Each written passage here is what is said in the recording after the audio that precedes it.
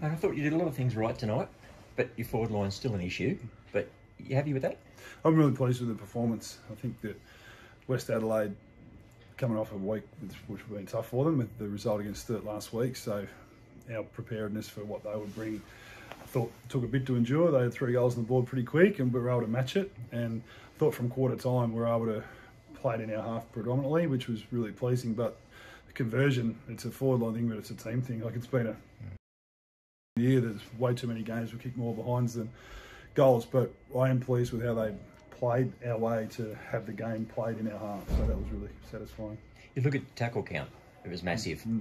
That's a good sign that the players are really committed to what they've got to do. Yeah, I think both teams can be committed on that. I think night games at the parade do lend themselves to those yep. type performances we're a pretty strong contest-based team. I think most teams coming up against us are aware they need to play that way, which I thought Westies did a really good job. I think they up winning contested possession and tackle, which is a good effort.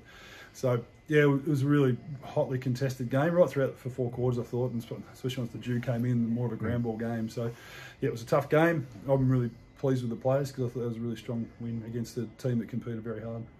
Uh, your forward issues that you got Pedro up there tonight. Mm. He was the latest option you're trying out there. Yeah, well, we lose Puopolo and Tranfer, who have yep. been mainstays down there all year, and we've looked to explore with various models up there to try and get the right mix. But I thought Pedro made a difference. I think Sam Morris has come in and actually made our forward line look sharper with Nelligan. So you go the experience of Pedro, Nelligan, and Morris. But they compete. Uh, yep. Pascoe comes in, he competes, and Binder's improving all the time. And Shenton's been really good, have been swung back there, and Boyd's a competitor. So it's a bit of a misfit forward line. I say that respectfully because of how they've come together. So from my experience in footy, trying to establish good chemistry and synergies a forward line takes a while. But when they compete like that, they give us a chance. How long will Poppy, Poppy be out? Uh, my latest was that it'd probably be two to three weeks in a brace, and yep. generally that would match how much conditioning you'd have to do after that. So I would have thought four to five. So might just be able to, if we're able to make our way into the finals, it might be around that time. So we're pretty hopeful. That's a big step though towards finals. Yeah, yeah I think it's a pretty important game.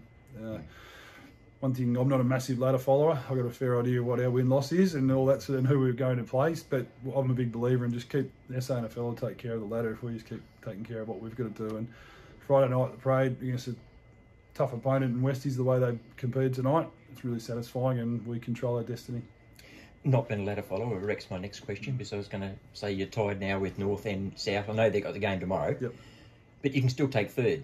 But you're not a to follower. No, so I'm not. No, I don't say that. I don't say that uh, flippantly or generically. I just think if you get consumed, especially as a coach, yep. looking at the permutations, it's wasted stress. And if you put more time into what you can do and how we were going to improve improve off the back of the Glenelg game last week, all those things are where your energy should be directed towards, but it's not lost on me what was on the line tonight. I certainly knew what it would mean if, if we weren't able to get it done. It would put a lot of pressure on the last two weeks. But walk away, keeping them to, I think it was what, 40 points we keep them to, and win by five goals is very satisfying.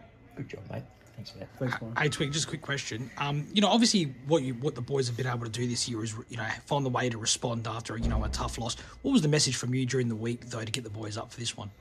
I don't think it was me trying to get them up. I understand your question, Joe. It's more yep. understanding where our game's at. Yep. And off lockdown, we set ourselves to improve a couple of phases of our game, mm-hmm. and I think we've done that over the course of two weeks. And to continue to do that's challenging, and to stay up and keep putting a group together that can perform together is the challenge. But this group train really hard. They are fully invested in what we want from them, and I've admired that from them all year. So. Uh, I don't take any credit. It's all to do with the players, the way they professionally deal with defeat, recover their bodies from a six-day game. Uh, six days ago we played to be ready to perform tonight, so it was really pleasing from there. And I thought our leadership, by Shenton downwards, was excellent tonight as well. Beautiful.